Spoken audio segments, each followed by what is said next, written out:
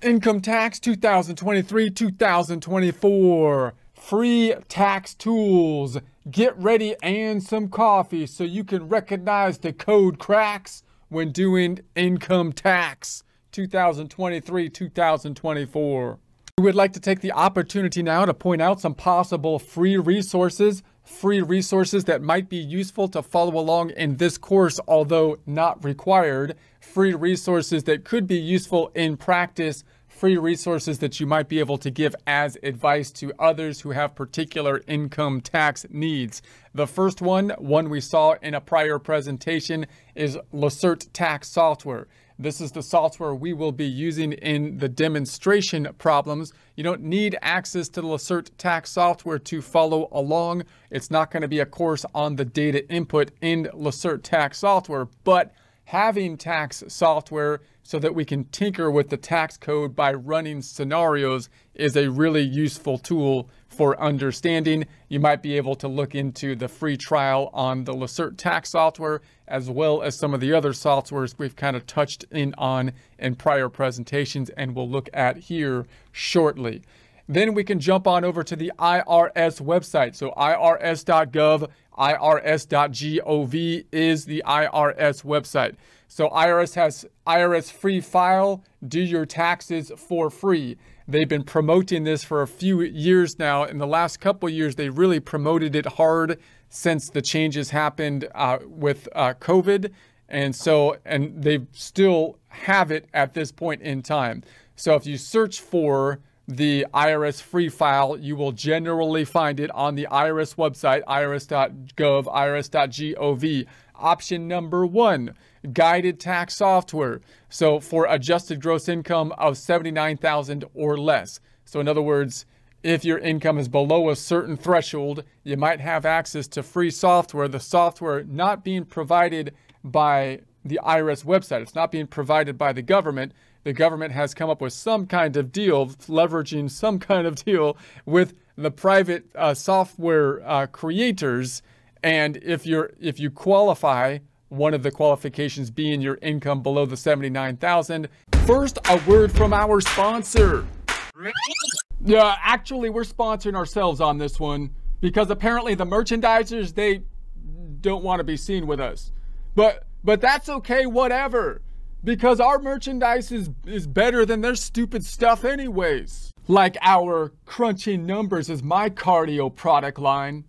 Now, I'm not saying that subscribing to this channel, crunching numbers with us, will make you thin, fit, and healthy or anything.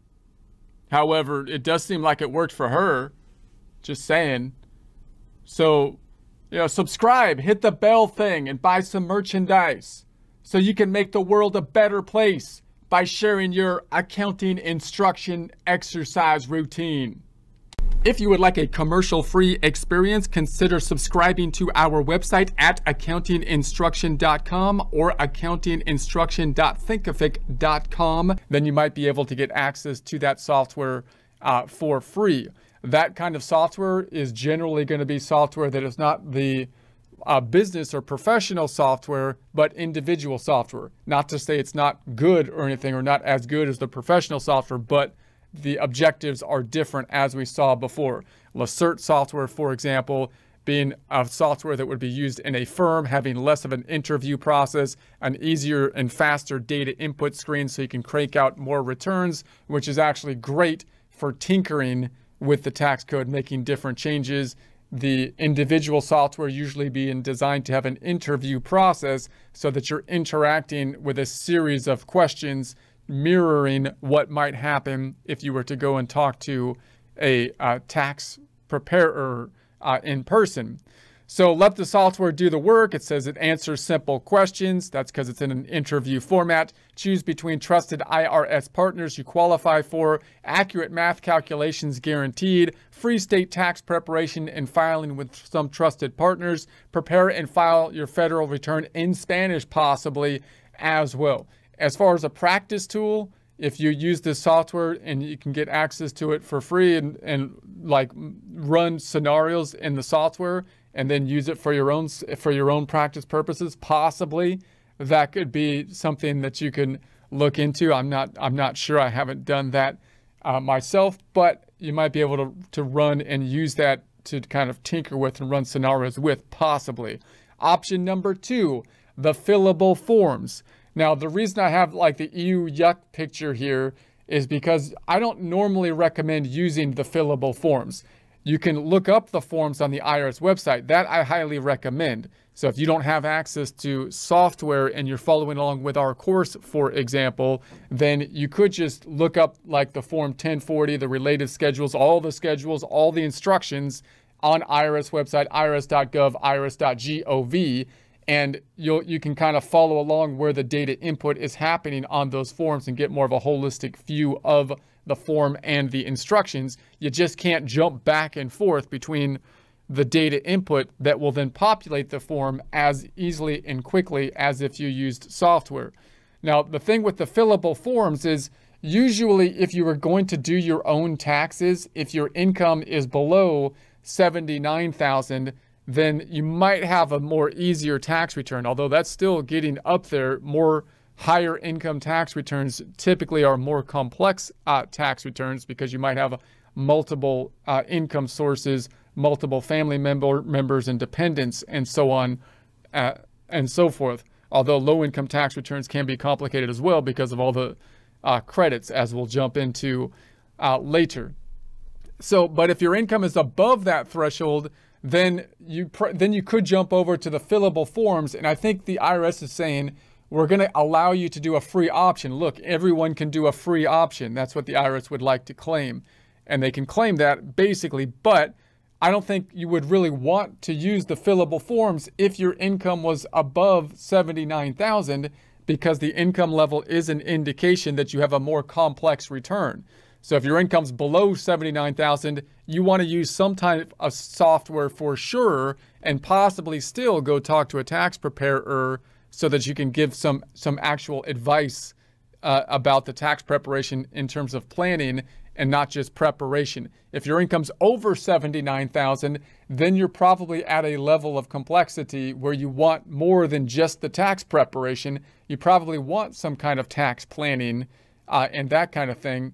And therefore, I would think it would be useful at that point, at least to purchase the software to make sure that you have the double check the internal control of the software to help you with the diagnostics to lessen the chance of making errors and possibly at that point actually go to a CPA firm or a tax preparer with the idea that you're going to try to settle set up a long-term relationship with someone because the tax preparer then can then help you out with the current tax return but can also help you out basically going forward in the future possibly doing tax planning uh, which could be a, a, a major resource especially for higher income individuals and you might be more likely to get an audit or something like that if you have higher income situations because your tax code is more complex.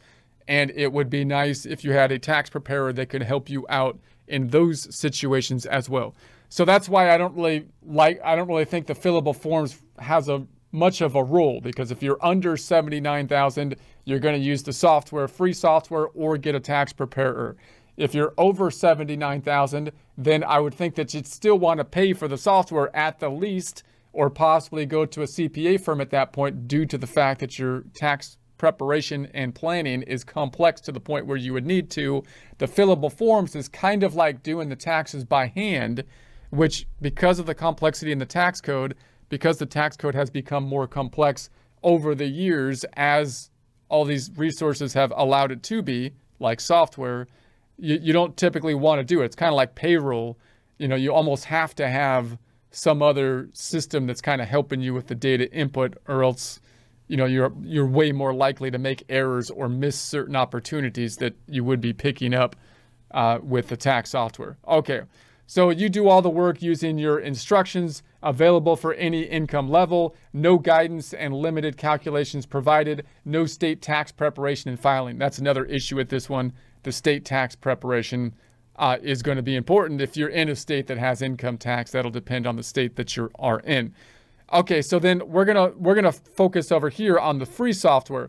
Now, if you go to their to the free software that is available and just look at the lists of the software, not all of them have that limit of 79,000 or less of the AGI. You can see here the free tax USA AGI 45,000 or less, not 79,000.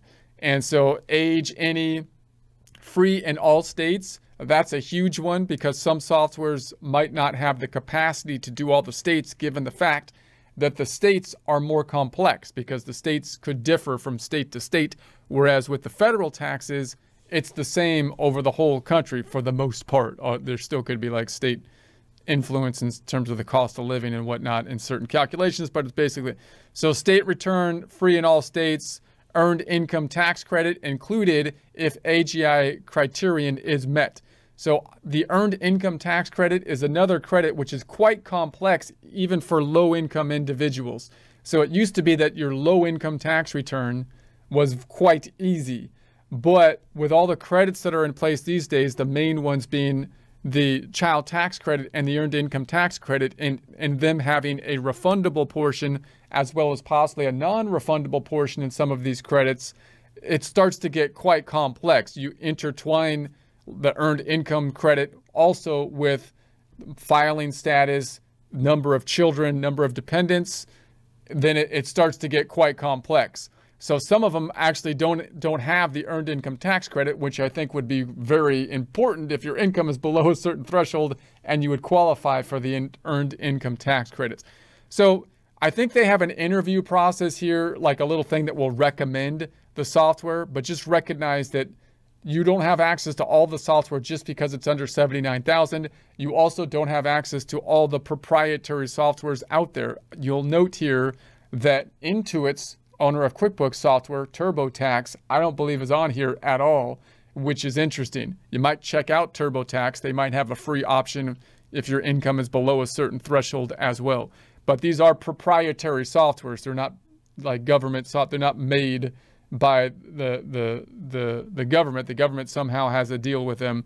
And so that's the idea. So this one, I don't, I haven't used these. I've, I use mainly Lacerte. So free now, uh, under 68,000, free in some states. This one's only between, well, between 17 and 79 included if that's kind of a weird one. So if you're low, below 17, no. And then you got the IRS free file program. This one has the 79,000 or less, free in all states. Make sure that it's picking up your state requirement if you're looking into these free options because you don't want to file two separate softwares one for the state and one for the federal, typically, unless the state gives you like a free option or something like that. The, the, the one that has the coolest name, of course, is Tax Slayer. Tax Slayer, but it's 44,000 or less. I've never used it. Uh, so there it is. And then uh, ALO. And then here's my image for Tax Slayer. He's slaying the taxes. Tax Act and file for uh, taxes.com. So these aren't, are not the only options you have. I can't vouch for any of these softwares. I've never used them. You might want to, you, you, you could look at uh, Intuit's TurboTax. H&R Block, I think, has a standalone tax package as well. Those are probably the biggest two in terms of name recognition. And I would think they would be pretty good given the fact that, uh, that again, Intuit is a big company and probably has more more people. So it's again, it's kind of strange that they're not in the program to me here. So you might look at their stuff and see if they're if they're have a free option uh, as well. I tend I would tend to trust them a little bit uh, because I I work with uh, Lacerte, which is now owned by Intuit. I'm not saying Intuit's the best out there, but they're they're big, right? They're the big one. Uh, so, anyways. And what else do we have? We got the tax withholding estimator. Now, the tax withholding estimator is designed to help you to make the proper withholdings, but it can also be used as like a practice tool to kind of estimate your taxes in different scenarios. And it basically has to be like a projection type of tool. So let me do a quick recap on, on how this works and why you might be able to use it. Note that uh, we, we file the taxes at uh, after by April 15th, following the year that we're working on. So if we're looking at 2023 tax year, we're going to file it in 2024.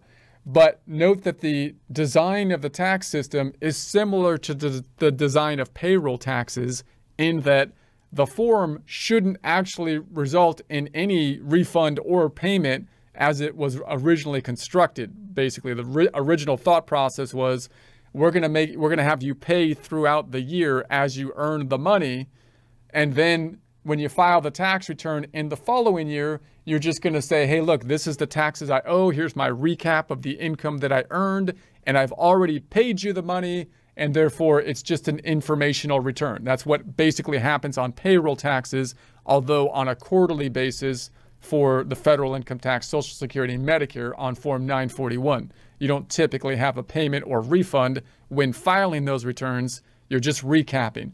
However, the tax code became so complex that that's impossible to do. So you can't you can't really guess exactly what the amount of tax that you're going to owe is because there's too many variable components in calculating the income tax.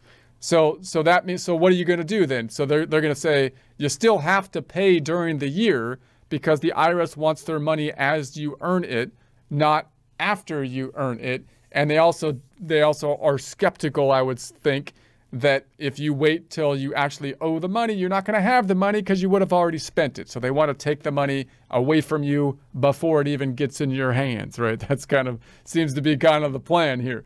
So that means that they're that you're going to be paying through w2 withholdings most likely and 1099 and possibly estimated payments uh, throughout the year. And what you'd shoot for, what you try to do is pay a little bit too much. And why do you try to pay a little bit too much? Not just because you want a cool refund at tax time. The IRS the IRS tries to then claim as though they're the one giving you money at the end of the year. No, they're refunding they're refunding your overpayment. They overtook the money before. Why would you shoot for a refund? Because you don't want to get hit with the penalties. That's the idea. So if you underpay, they hit you with the stick of penalties and interest, which you're trying to avoid. So you try to overpay a little bit. And all the tables that we use for the W 2 withholdings for payroll taxes, when you calculate your W 4 and so on, are designed to be a little bit over so that so that you will get a refund not just to make you happy although that might be part of it from the government's perspective because they look like the good guy giving you money back and the employer looks like the bad guy because they're the one forced to be the tax collector. But the real idea is that you're trying to avoid the stick of penalties and interest if you underpay. So so it used to be like you can kind of say, well, if I'm married and I have so many dependents, I can get a reasonable calculation based on my W4 will help me out with the tax tables and I can figure that out. But and but now it's got a way more complex in part because the family structures are are kind of different and the the credits and whatnot, earned income tax credit, child tax credits are dependent on marital status and number of children and that kind of stuff, which really, you know, complicates things. So at one point in time, if you had a family unit, most families had like a one income family and it was pretty like a married couple, one income family, or, someone is single, that's pretty straightforward and they have one job, right? But these days, people often have multiple jobs, right? You're probably working, you might have worked three different jobs throughout the year and then also had gig work or something like that and have a spouse also doing a similar type of thing. And then you could have, you know, the, the, the number of dependents fluctuates a lot more as well. Therefore, it's a lot more hard. It's a lot more difficult to figure out exactly what your withholdings will be. So you really need what you really need to calculate the withholdings is a projection software. You basically need tax software in order to make a projection out into the future to try to figure out what your withholdings should be. And that's basically what they did on the IRS website. So now you can figure out your withholdings. You might want to look at it at the end of the year put in all the information in there, which is basically making a projection, which will then help you to determine what your withholdings should be, which you can adjust at the end of the year or whenever you need to to get the proper withholdings out of your W 2s or the proper payments that you need to make to avoid getting hit with the penalties and interest. Now, because it's becomes, you know, basically an, a, a software tool, though, you could you might also use it in the course or something like this, or to to do projections into the future to run different scenarios. You can use it similar to using Lacerte. In other words, you can put in the certain assumptions into the tax software and and allow it to do, give you a projection into the future possibly. So it's a pretty interesting tool. They've it's a lot better than it used to be. So you might want to check that one out. So what you need, uh, have this ready. So obviously, in order to figure out your withholdings, you would need the pay stubs for the job. Why the pay stubs? Because you don't yet have the W-2s. Because the idea with the withholdings is you're trying to figure out the withholdings before you get the W-2 because you're trying to pay your taxes before the end of the year, before the tax return is due to avoid getting hit with the stick of penalties and interest. So other income info. So if you have gig work like YouTube income, self-employed income, you're selling you're selling ETF, you know, some kind of digital currency stuff or whatever you're doing, then you need to include that as well cuz and then most recent tax return is something that would also be useful to help, you know, answer the questions on it as well. Your information isn't saved, so this is not something that the IRS should be tracking and holding on to. It's supposed to be a tool to help you to calculate your withholdings. Uh, so it's not like a permanent type of thing. It's a it's an estimator tool.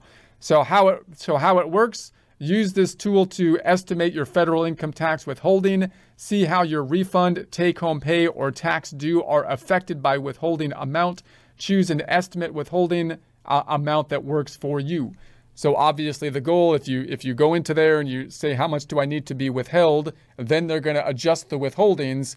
If you have to withhold more to pay the appropriate amount of tax to avoid getting hit with the stick of penalties and interest for paying too little tax, then obviously that means that the checks that you're going to be receiving are going to be lower because you're the, the, they're going to force your employer to take the money away from you before you receive it in your paycheck, right? So that, that's that's the idea. So the the trade-off is to say, do I do I want to try to have more of a cushion to avoid getting hit with the stick of penalties and interest, possibly getting a larger refund or shooting for a larger refund to be safer, in which case I'm going to have less money from paycheck to paycheck because they're going to withhold more of it, or do I want to really cut it cut it uh, cut it tight so that I can try to get exactly what I think my tax will be to try to maximize the amount that I'm going to get from paycheck to paycheck by reducing the withholdings to as low as I can get it without getting hit too hard with the penalties. All right. Uh, recommended by IRS. Also, we have the, the forms. So remember that this could be really useful to follow along with the course, especially if you don't have access to software the, the IRS website has all the forms and all the instructions. So irs.gov, irs.gov, any form that we are looking at, such as the 1040, you can just type in form 1040 or go to the forms, look up the forms, look up the uh, schedules. It'll give you the forms and the instructions related uh, to those forms. Huge resource. Also, when you're doing research, it's a great resource. And we'll talk more about the the, the, the, the, the types of things that you might go to for tax questions. But one of the first places you might go would be the instructions for the 1040. So if you're saying, should this be included in income or should this be uh, a, a deduction or something like that, one place you might start going is to the instructions, although that's not like formally the tax code, right? It, but it could lead you, instructions could then lead you to where you need to go uh, from from there, and, and depends how complex the question is in terms of how much more detail you need to get. In other words, the instructions are usually uh, created in more like uh, common language, less like legalese kind of language, still, although still kind of legalese to a degree, but less than the actual income tax code, right? But if you have to do more research then it might take you, it might show you where other publications are and whatnot, and possibly to the code itself. If you have more nuanced questions you need to drill down on, we'll talk more about that later.